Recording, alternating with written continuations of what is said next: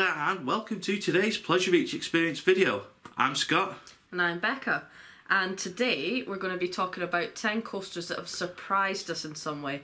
Not necessarily they've been better than we thought or worse than we thought, just something has surprised us about all 10 of these coasters. We're going to start with you. I think we are, yeah. And before I do start, I just want to say we've chosen 10 different coasters, five each, and it's something that surprised us in a good, bad, or just some interesting Yeah. reason that they've surprised us. And this this conversation, this video was brought on by me talking about my own personal top 10 Yeah, in yeah. the car on the way back from Blackpool about an hour ago. So I thought, let's get the camera rolling, let's do a video. So my first one is Untamed at Walibi Holland. I'm sure you're all familiar with Untamed. There was a really good marketing campaign for it done by Scott of Walibi Holland. The reason this ride surprised me is, as you may have seen from Cedar Point videos, I don't really get on with Steel Vengeance. I've found that it it's really rough on my thighs. It's not a rough ride as such, hmm. but it kind of pins me because I'm a bit of a bigger guy. I've got a, a bit of weight on my thighs, and there's nothing I can do about it. And where the lap bar sits, just because of how intense Steel Vengeance is, it really pushes on you after a certain point. So when I did Untamed, I was really worried and thought this is going to really hurt me again. And it was a preview event, and I'm thinking I really don't want to have been invited and then be going, this coaster's rubbish. I don't like it. It's really hurt me and all this. Yeah. So when we were going up the lift hill for the first time, me and Mark, I was there going, this is going to hurt. This is going to hurt. How am I going to get out of this? I'm sat at the back. This is really going to hurt me. We went down the first drop, and I was just like, hold on a minute. This is actually good. Then we went through the double inversion. And I'm like, well, hey, this is not hurting, right? Let's get those arms fully extended in the air and just enjoy this and not worry about the pain. And I remember getting to the brake run and being like, wow. I said something stupid in the video. I was like, we are untamed because I just enjoyed it so much. And I just didn't expect to enjoy it as much as I did. And as it happened, we just kept riding it over and over and over again after it. And there's no other RMC coaster that I've done that on, so it took me completely by surprise. When you go there and you're worried that you're not going to enjoy a ride, and then you end up absolutely loving it and thinking, where is this in my top 10? You know it surprised you in a very good way. Yeah, it's not something I've done yet, but I was certainly surprised that you came back enjoying Yeah. it, so. Yeah, because I remember messaging you shortly after I'd done it the first time. I was Yes. like, I love this coaster, it's Yeah. amazing. And I think that maybe that's the way I will enjoy other RMCs when they're not like Steel Vengeance, when they're a bit smaller, not quite as intense, and just a little bit more friendly on my thighs. Yeah. First coaster of yours that surprised you? So my first one is Rake at Phantasialand. Probably the coaster I enjoyed most there, which is really bad considering it's a small, Oh one of the smallest coasters. How can you enjoy that the most when they've got Taron and Black Mamba? But I didn't enjoy Taron, it was awful. Anyway, moving on. I wasn't surprised by Taron, so it's not made the list. Um, yeah, it. When you look at it, you just kind of see bits of it because you kind of walk over it almost, Yeah. and you just see the odd bit of track going up here or around there. Bit of fun, but it had no queue, so I went on it while I was waiting for everyone else to catch up, and it was really good. Yeah. I just it's just got a bit more about it. The station was really well done. You didn't know what to expect when you got there, so yeah. Yeah. Because that was your first Vekoma family boomerang yes, coaster. the first bo- family one, yeah. Yeah, and they're popping up quite a lot now. I mean, I'd, I'd done one in um, Ben 10, as it was called at Drayton Manor. It's Mm. now called Accelerator. I did that in 2011 and then didn't do another one until I did Rake. Yeah. But I didn't do Rake when you did it. I did it a couple of months later. Um, and I did it in January of this year. And it was so cold that it, it, I know it rolls back anyway, but it literally nearly rolled back to the point where it balanced on one of the hills because it was that cold. And I remember us getting back to the station, the ride ups were like, no, close it. We can't keep it running like that because it was so close to balancing on the backwards airtime hill. Obviously, you go Not forward ideal. over it as well, but you know what I mean. Yes, yes, as it's going backwards. So, number two. Number two for me is Cyclone at Coney Island.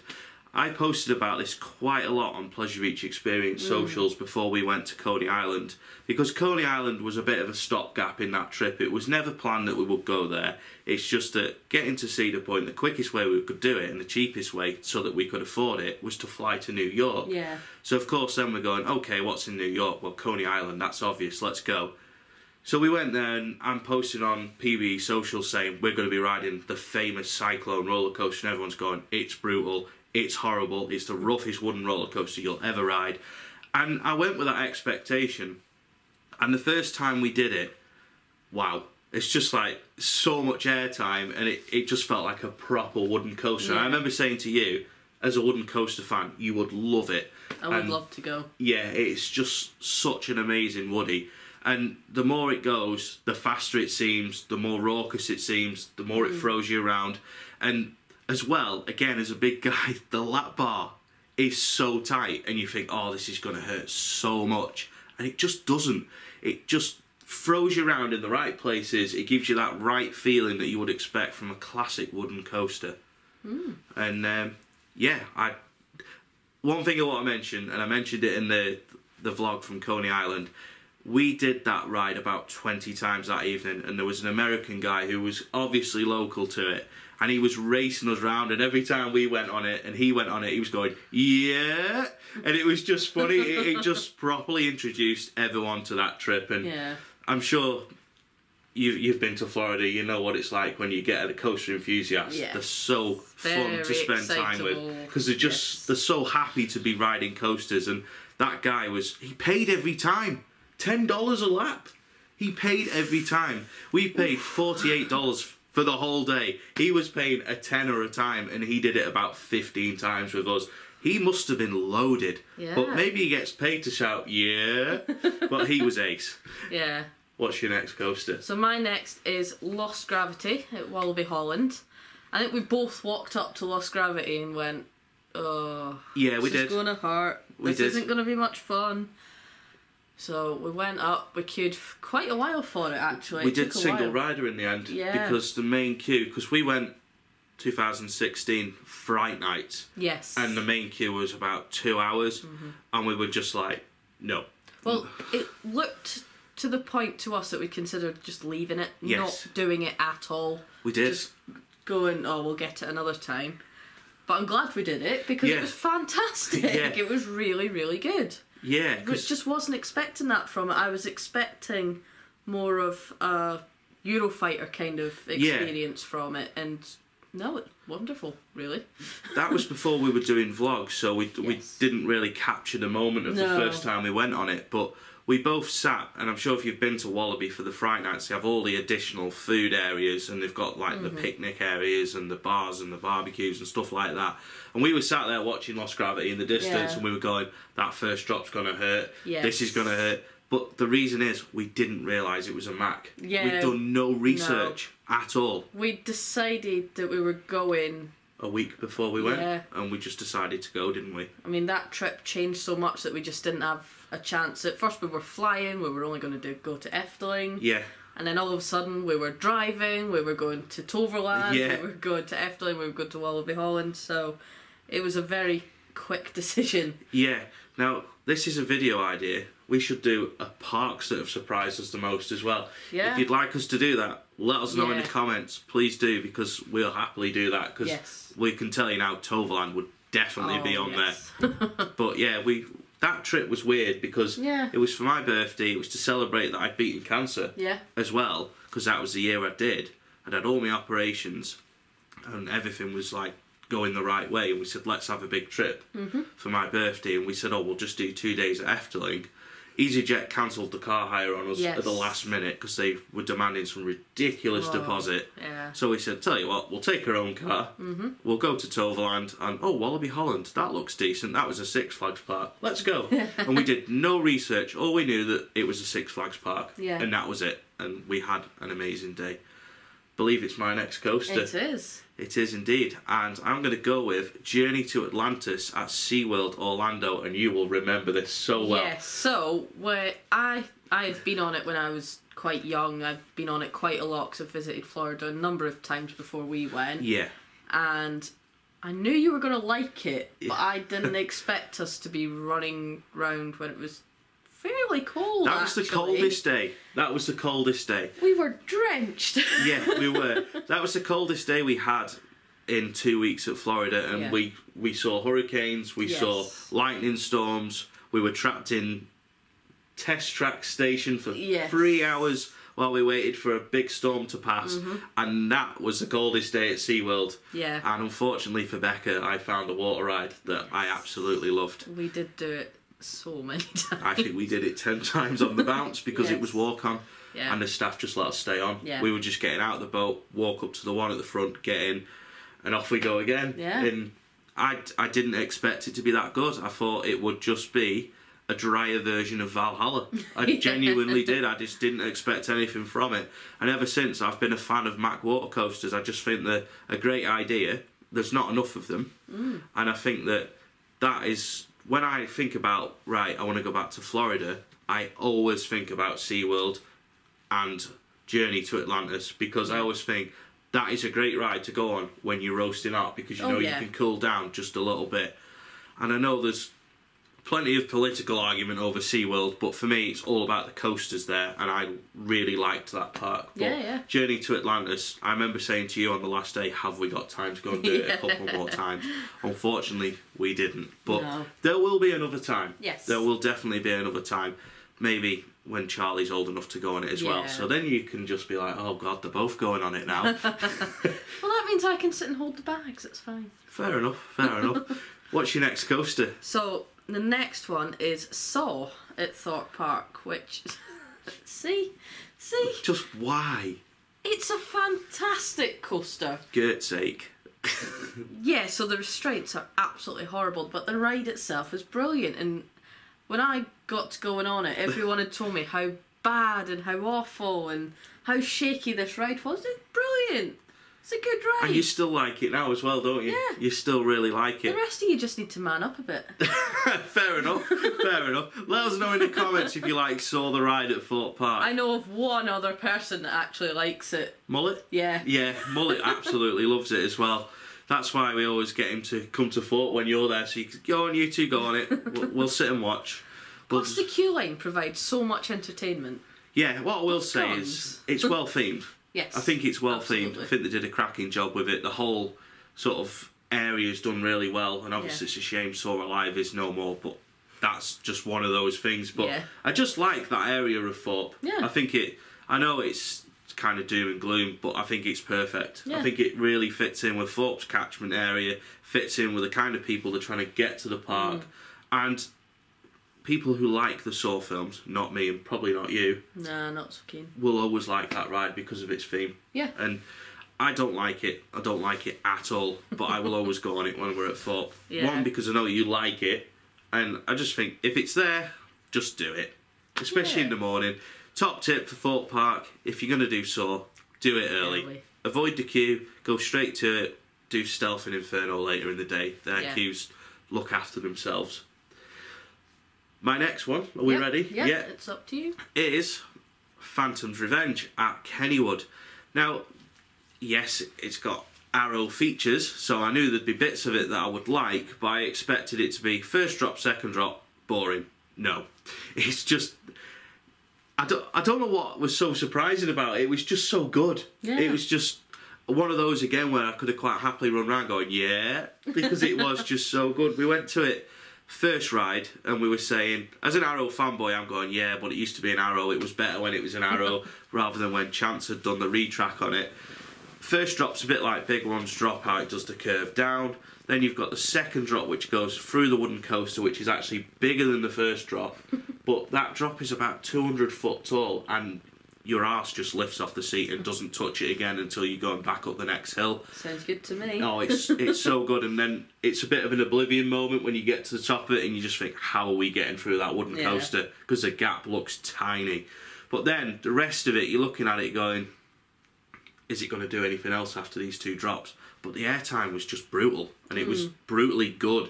I mean, there was one point where we, I think we did it back two rows or back three rows the first time we did it, and we were just squealing the whole way around because the airtime was just insane.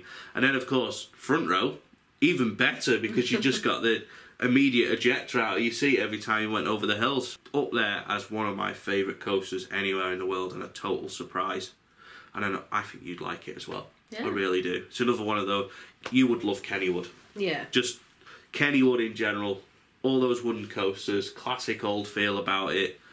turtle chase, whip, Yeah. Kind of an Arrow hyper. Arrow Yeah. meets Chance. You've got the old Woodies. You've got a Mobius loop coaster. You'd love it. Yeah. Another one for the bucket list for you and Charlie in a couple of years' times. Absolutely know that you would love it. Yeah. So your next coaster. So my next one is the Hulk, but the rebuilt Hulk. Yeah. If you don't know much about it, basically they got to the point where they just replaced the entire thing. Yeah. Um, basically removed it and put back in the very same coaster. Yeah. Um, and I was really worried because the Hulk's always been in my top two coasters. It's always been there.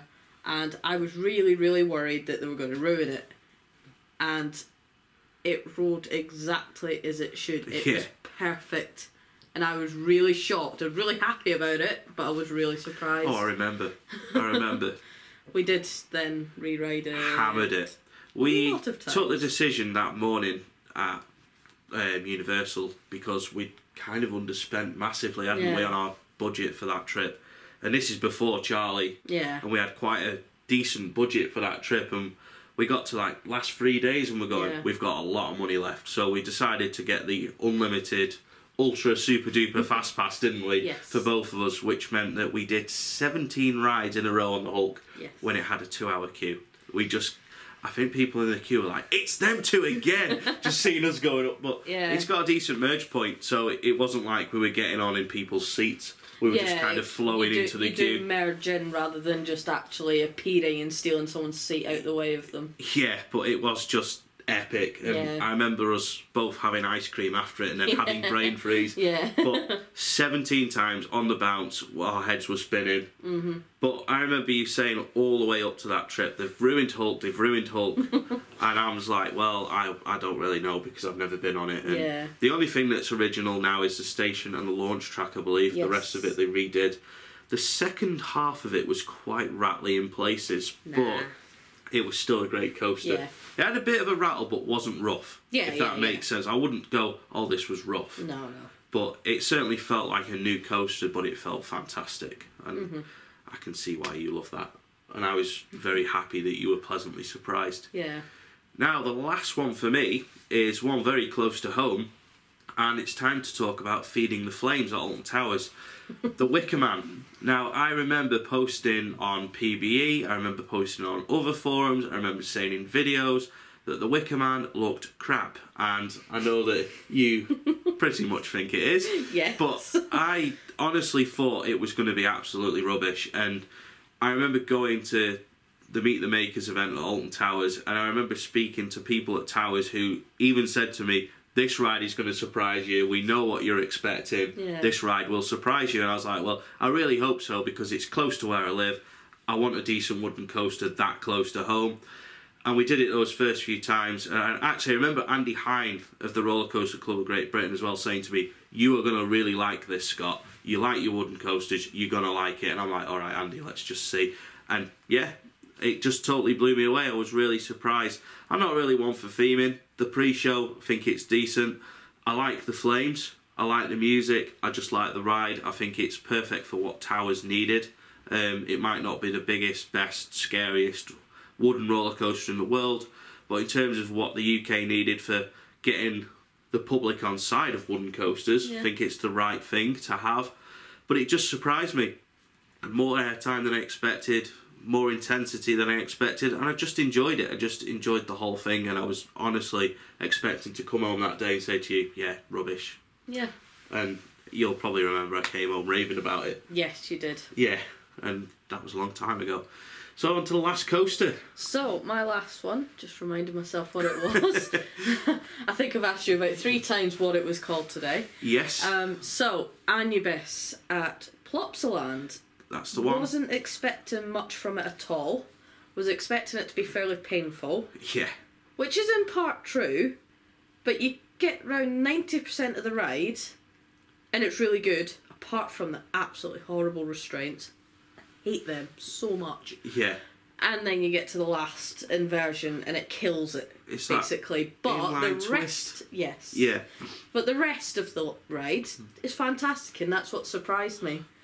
Was the rest of it the the last couple of seconds is what I thought the whole thing was going to be Yeah. like, and to get that far through it was really good. Yeah, I remember because we did have Charlie with us and he was really Yes. little. You did it first, came off it, and were like, that was really good. Yeah. And I was like, oh, wow, okay then. But then I was thinking, oh, well, you like Saw. It's a Gert. it might Yeah. be, whereas you like it and I don't. And I was surprised by it too. Mm. And I was really pleasantly surprised by it. And it had no cue, so I think no, we did it quite a did lot, didn't we? quite a few times. Yeah. Yeah, but I think I'd agree with you. The the last bit was was awful. The zero G roll Yeah. or inline twist, whatever it's called, it was a bit unpleasant. But Mm. but what surprised you about it? Did you just expect it to be really rough? I thought it was either going to be really rough or just not have much pace about it. yeah, A bit of just a bit shaky and yeah, feel a bit pointless. But the launch felt good, yes, which I'm not much of a fan of launch coasters anyway, so no, it wasn't off to a good start before we onto it really. But yeah, it was quite good. It's got good pace through it. yeah. Plopsaland was a good park. I'll, I'll put a card in the top of the screen. We actually did a mini vlog.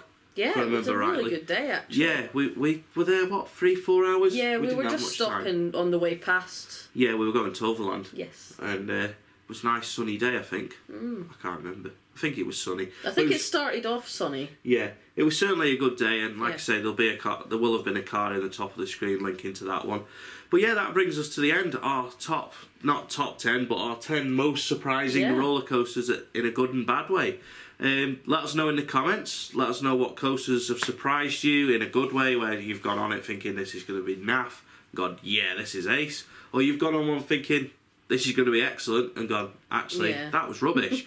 so yeah, let us know in the comments, and please let us know as well if you have anything that you want me and Becca to discuss, especially Yeah. parks that have surprised us the most, because I think that's one we could definitely yeah, put easy. together. I've already got the list in my head. Yeah, I have as well. So that, I think that's one that we'll definitely do. Yeah. Just let us know in the comments if you'd like to see that, and we'll definitely get that film. But for now, thanks for watching, and we'll see you in the next Pleasure Beach Experience video.